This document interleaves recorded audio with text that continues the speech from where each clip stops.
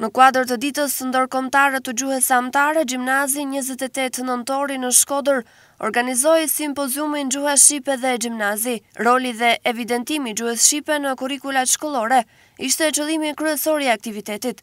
Lënda e gjuhës shqipe ka rëndësi të veçantë, pasi nxënësit fitojnë njohuri, demonstrojnë shkathtësi, vlera dhe qëndrime, për të komunikuar në mënyrën e duhur nëpërmjet të folurit, të dëgjuarit, të lexuarit dhe të shkruarit. Gjuha shqipe është mjet për të shprehur ndjenja, ide, besime, vlera, dije dhe siguron mundësi që nxënësit të ndjejnë fuqinë e gjuhës.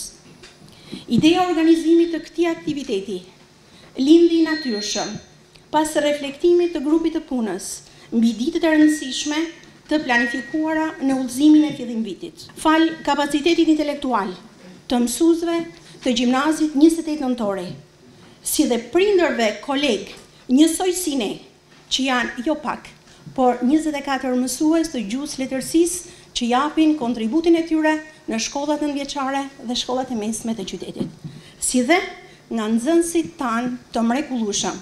Paneli i ftuar ishte zgjedhur me kujdes, jo vetëm lektorë të gjuhës shqipe, por edhe prindër të nxënësve të shkollës, kjo si një mënyrë gjithëpërfshirëse dhe bashkëpunim që Gjimnazi njëzet e tetë Nëntori gëzon prej vitesh. Gjuha është ajo që na lidh gjithëve dhe ne besoj se do kuptohemi me dashamirësi ndaj të dy palëve. Çdo ditë shijohet ndryshe, sepse jemi të ndryshëm në mendime dhe shprehje.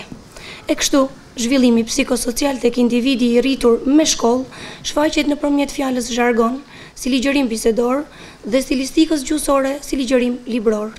Dy ekstremitete të rritjes moshore dhe kulturore nëpërmjet shkollimit.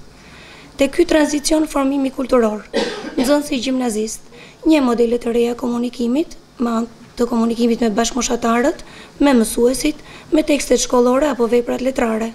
ka ndryshuar kanalet përmes të cilave ngjarjet mbërrijnë tek lexuesi, ka ndryshuar marrëdhënien me gjuhën e shkruar.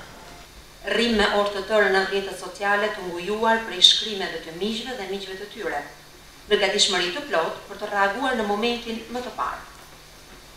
Kohëzgjatja e vëmendjes që i kushtojmë dukurive për të cilat diskutojmë, është bërë mikroskopike dhe të lexuarit e korpusit të pafund ndaj të cilit jemi të ekspozuar çdo ditë, bëhet gjithnjë e më sipërfaqësor. Gjatë këtij simpoziumi pati referime të shumta nga mësues dhe pedagogë të gjuhës shqipe, mes tyre mësuesja gjuhë letërsisë Irida Hoti referoi mbi temën Roli i kompetencës së mësuesit në formimin e nxënësit, ndërsa mësuesja Albana Kaloshi referoi mbi disa funksione sintaksore Të paskajores Gege në ciklin e Kreshnikëve, rol të rëndësishëm kishin edhe vetë nxënësit e shkollës, të cilët interpretuan pjesë të ndryshme të shkrimtarëve, ku në thelb kishin rëndësinë e gjuhës amtare.